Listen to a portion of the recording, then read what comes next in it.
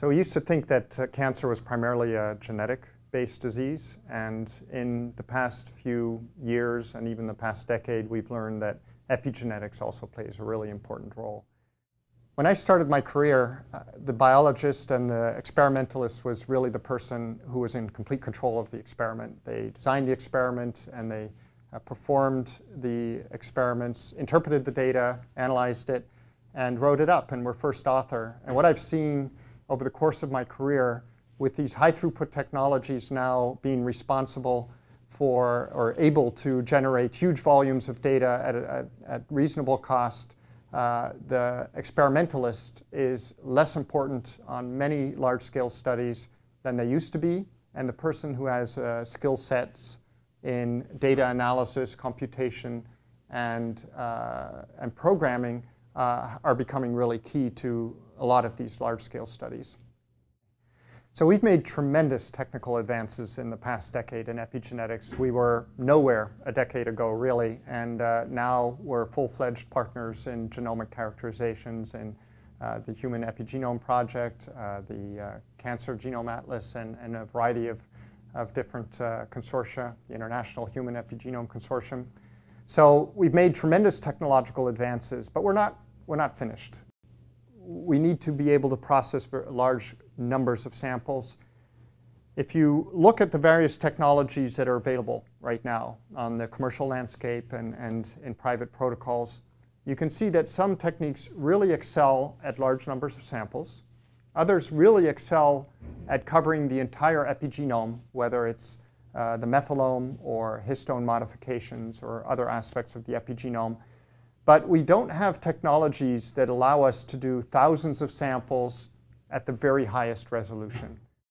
The other area that we really need uh, increased uh, technological investment and development is to, to go smaller, to go to single cells. And the reason for that is if you look at a human body, 10 to the 13, 14 cells or something like that, for the most part, they all have exactly the same genome. So it doesn't really matter which one you grab. You can look at the genome and understand it, and, and you know the genetic composition of that person. Every one of those cells, though, has its own unique epigenome. And uh, when we take a tissue sample, a tumor sample, for example, uh, and grind it up and analyze it for DNA methylation profiles, we're really looking at a mixture of millions of cells with uh, many, some of which have vastly diverse epigenomes. So what we really need is the ability to go in and look at individual single cells and characterize the whole epigenome. So epigenetics offers a, a tremendous opportunity for uh, clinical diagnostics in several different respects. Uh, one is uh, the subtype classification and uh, designing panels that identify specific subtypes of disease. Another is to do a more supervised approach where you have a drug in mind and you look specifically at whether particular epigenetic profiles respond better to a, a, a certain drug or not, and that work is ongoing.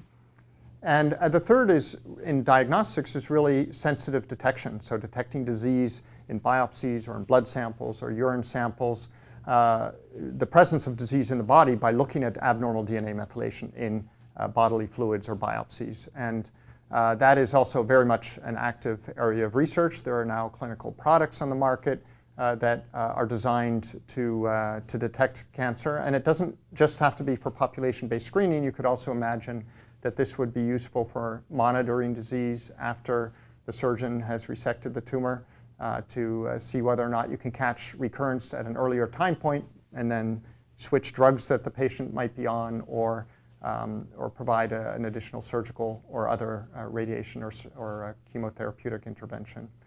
So um, I, I, as I said, there's a really a wealth of opportunity there uh, for epigenomics and, uh, and epigenomic profiling. And we're just really in the infancy of whole-scale profiling of epigenomic changes, both the DNA methylation as well as histone modifications, nucleosomal positioning, um, non-coding RNAs, and uh, the next few years promise to be very exciting.